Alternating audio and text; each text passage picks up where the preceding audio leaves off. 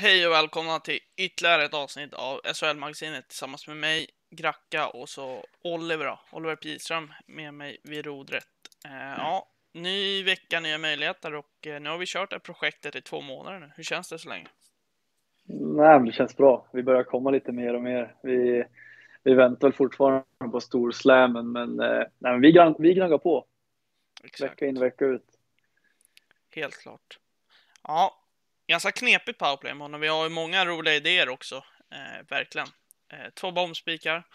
Eh, vi droppade ju tre spel till förra veckans avsnitt. Ett gick in, eh, tre brände, så det var ju lite back där. Lite tråkigt såklart eftersom alla hade jättebra closing. Eh, eh en 85 oddsen hade ju nästan closing på 1,60 alla tre vardera. Eh, sen eh, var ju Frölunda eh, helt helt inkapabla till att göra mål hemma mot eh, Malmö och Rögle. Ja, Rögle ett pissgäng eh, uppenbarligen.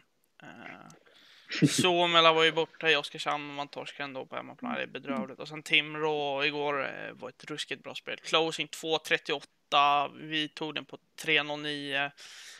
Eh, nästan 70 punkter. Stänger ju som favoriter på bortaplan starkt. Eh, dominerar ju stundtals matchen. Ha, får lite otur in, 2-0 i baken. Vänder men lyckas inte riktigt avgöra förrän i övertid och då eftersom vi inte hade ML så sitter ju inte spelet. Så det var lite synd. Eh, till denna vecka har jag inga spel, eller vi har inga spel för de har faktiskt inte hunnit släppa oddsen till eh, nästa veckas matcher. Så det är lite synd. Eh, sitta och spela på morgondagens odds nu är ju tyvärr lite synd. De är ju relativt slashade. Eh, så det ska vi inte göra. Eh, ja, vi inleder då med match 1 då, Frölunda HC mot HV71 och eh, ja, här slänger vi ut breda pensar va? Ja, men vi tänker det, försöker jobba in, jobba in HV fast det är lite semikris. Nubben gick ut i tidningen idag och de behöver förstärka. Jag tror de hade tio ordinarie forwards kvar eh, det går ju tungt för HV. Som vi var inne på förra veckan, spelmässigt ser det helt okej ut, men eh, man får inte med sig poängen som, eh, som man behöver Ja, för att klara sig kvar. Nu är det Hjalmarsson på G också tror jag och, och det blir ju nyttigt. Men sen någon forward till. De hade ju, det blir spännande att se. Han eh, Radek Lench från Frölunda ryktas ju vara klar ja, och det blir ett bra förvärv att få in. ja. När de alla fräscha tror jag de blir riktigt farliga. Eh, men de har ju börjat horribelt så att säga. Inte haft mycket flyt och sen var ju Böttger out mot eh, Luleå hemma eh, i lördags jag tror det var någon till lirare som var out också och ja, Luleå hade skaplig spel, sp spelsuga där men känns, känns också som att Luleå kanske inte är ett jättebra lag eh, för just HV att möta eftersom Luleås spel kanske inte riktigt passar HVs. Jag kan tänka mig att de är väldigt bra på att stänga ner HV och då blir det jobbigt för HV, tänker jag. Eh, Och så- men Frölunda är ett mer spelskickligt lag och eh, ja, jag tror HV kommer få sina lägen och är man effektiv här så absolut kan bortaskrällen vara ett faktum. Frölunda har ju två raka torsk nu också, bägge på hemmaplan. Så att, Ja, eh, exakt. det, det, är Horribel inget, form på Frölunda. det är inget lag i harmoni. Så 15 procent på HV känns ju magiskt bra. Och sen tror vi väl på en öppen match så att vi steker krysset och går på gubben 1-2 här. Mm. Ja, match två då. Leksands IF mot Rögle. Eh, Rögle som inte alls var imponerad mot Oskarshamn i lördags. Och eh, ja, jag tycker det är väl lite av en kris i Rögle också.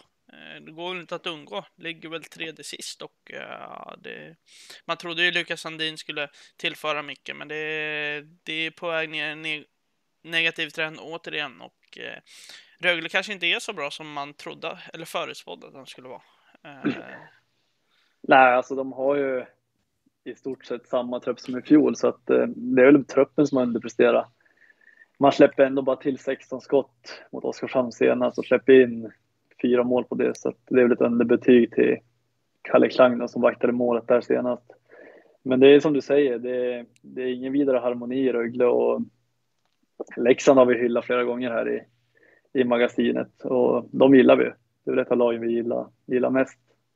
Och borta mot Leksand, det, det är jäkligt tufft alltså att åka dit och hämta några poäng. Men på grundkapacitet så har ju Rögle absolut chansen. Men man måste ju upp, helt klart.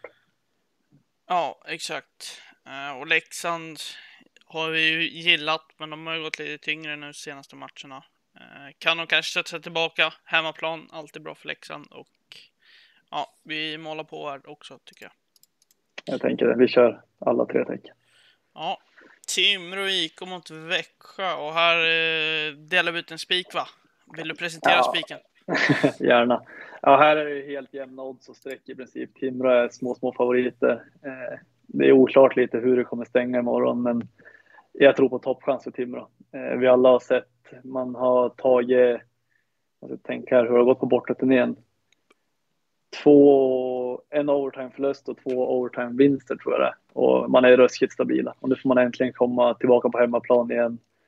Ryktas som fullt hus i NHC och nej, jag tror Timrå har toppchans. Man har verkligen fått ihop laget och Kapanens eh, vad ska man säga, succédrag där med att skeppa LaLeggia och ta in Pejärvi och Lyttren har visat sig vara eh, nej, ett succédrag helt enkelt. Så jag, tror, jag tror på absolut toppchans imorgon och till trevlig procent så borde vi absolut hitta fram spik. Ja, absolut. Jag gillar också Timrå. Jag är ruggigt imponerad av dem och ja, jag tror Timrå kan bli en riktig joker i år. Eh, riktigt kul hockeyspelare de. Eh, oerhört spelskickliga, speciellt eh, eh Dahlén-linan med Emil Pettersson och vad heter han? Anton Lander. Ja, ruskigt skickliga och jag tror det är ett lag man ska fortsätta backa för de är inte så högt uppsatta på outrights och eh, bookmakerserna eh, brukar vara välvilliga att släppa ganska höga odds vid släpp och ja, eh, till exempel du och jag har ju lirat Timrå, vad är det, 2,95 här och den lär ju stänga upp ner mot 2,20 skulle jag tippa. Så det eh, blir att jobba in deluxe. Ja, match fyra då. Här ser det ut. ut eh, oj, nu kan jag inte prata. Återigen en spik eh, i form av eh, Luleå då. Eh, ettan där. Så jag får med mitt lilla halvfavoritlag då i SHL då. Men, ja, det, det är gamla klubb kan man nästan säga. Ja, exakt. Jag har ju spelat i Luleå så. Eh, men eh, ja, det ska vara absolut toppchans här, givetvis. Eh, Luleå har ju verkligen kommit igång nu på sista matchen tycker jag. Jag tycker verkligen de har hittat sitt spel och visat att de är, ja, de är ruskigt bra i år. Eh, skulle de få in en till spetsspelare tror jag, tror jag de kan vara, bli obagligt bra. Eh, men nu när maskineriet har kommit igång ser det riktigt bra ut. Man hade lekstuga med HV på mm. bortaplan. Man lekte stundtals med Skellefteå på hemmaplan näst senast och eh, gjorde en väldigt bra match eh, borta mot Örebro innan dess, där de vann på, nej förlorade på straffar var det. De har ju tre raka strafftorsk, men ja, Eh, trots lite överspel på ettan så tycker jag det är en stabil spik. Ja, jag håller väl Luleå som eh, kanske det lag i hela omgången med högst segerchans. Man, eh, man är ju ruggigt bra defensivt, vilket vi alla visste innan säsongen.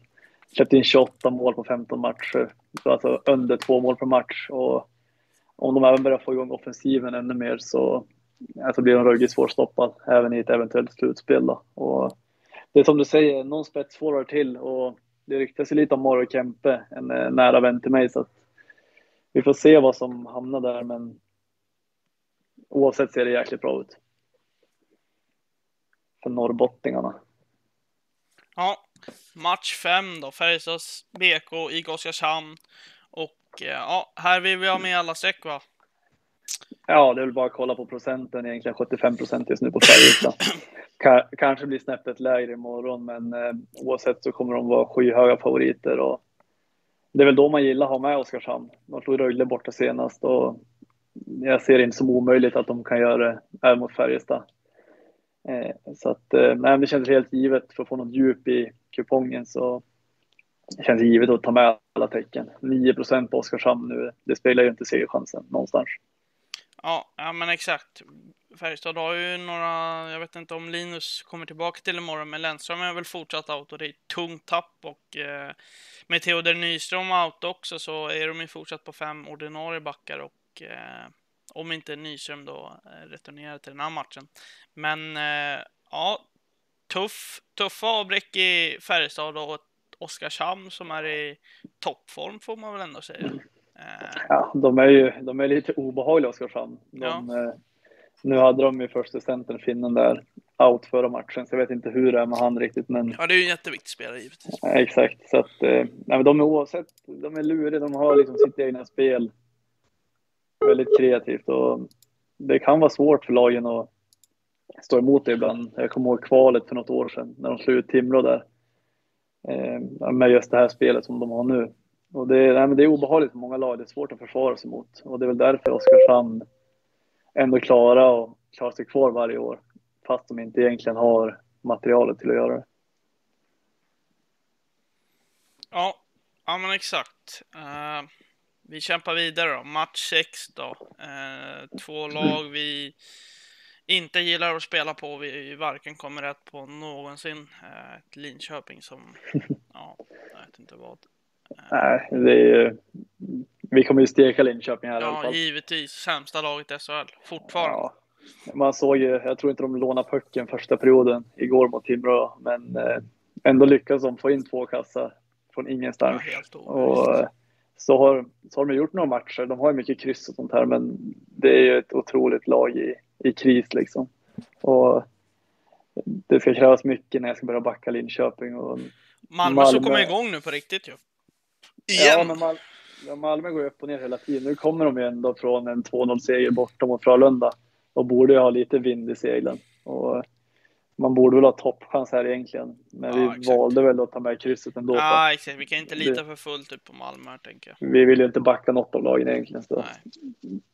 Men Linköping steker vi och det lär vi fortsätta ja, med ett tag, tänker jag. givetvis. De kommer åka ur. Ja, match sju då. Skellefteå, Örebro. Här behöver vi nog en halva. Det är lite klurigt. Det är ju som det ser ut nu är det bombvärde på Skellefteå. Då. Men Örebro, man ska, ska man verkligen underskatta dem så jävla mycket då? Serieledare? Eh. Ja, jag tycker nog ja. Örebro ska givetvis mer. Uh, möjligtvis att ta två här kanske. Ja, det är ju något sånt. För Skellefteå hemma är ju också svårt liksom. Men jag, vet inte, jag gillar Örebro, jag gillar deras spel. Mm. De, eh, och då har de ändå inte fått igång riktigt alla toppspelare heller. Eh, och ändå leder de serien. Så det är svårt att bena ut lite grann, men det känns som att vi kan. Ja, men jag är också lite inne på att köra en 1 2 här och, och steka krysset. Ja. ja, men jag håller med dig där. Eh, vi jobbar bort det äckliga krysset. Eh, match 8 då, Rickard Hugg mot Mattias Bromé och här kör vi en Eh, ja, 1x va? Kom överens till. 1x kom överens om. Det känns som att det är fördel höj. Skellefteå ja, är favoriter. Men det är fördel Skellefteå hemmaplan. Det är fördel Skellefteå såklart, men vi får välja ändå med krysset. Det känns givet. Och då valde vi mellan ett eller tvåan och det känns som att Högg har högre chans att hänga den än Bromé som inte riktigt har kommit igång efter sitt Schweiz-äventyr där. Han gjorde väl hattrick mot Malmö, men annars har det varit rätt dystert och Högg är ju riktigt bra liksom och producerar mål framåt i princip hela tiden. Mm. Ja, ja, men då så. Eh, det var väl denna veckas powerplay. Och det var den här veckan. Eh, vi kommer ju som vanligt lägga andelar. Eh, Oliver rådde ju andelarna. Finns ju på Svenska Spel, om ni går in och söker på Tillsammans-sidan eh, ICA Tierp så bör ni hitta, eller så kan ni gå in på spelcash.se eller så är det länkat här nedanför. I, eh, för om ni är sugna på att hänga med på en andel. Eh, förhoppningsvis kanske vi kan få lite extra pengar till morgondagens omgång om vi har lite flyt med oss. Eh, ja, det hoppas vi på. Ja, det hade varit riktigt fint. Eh, ja, nog om det. Eh, så får vi tacka oss för denna vecka och eh, återkommer vi nästa vecka eller är det landslagsuppehåll då? Jag tror att det kan vara ett landslagsuppehåll så vi får se lite grann. Mm. Men eh, vi, i alla fall på återseende. Ja, möjligtvis vi kör lite. Ja, vi får, vi får se. Ja. ja, stort lycka till på livet så tackar vi för oss då. Hejdå. Tack så mycket. Hej.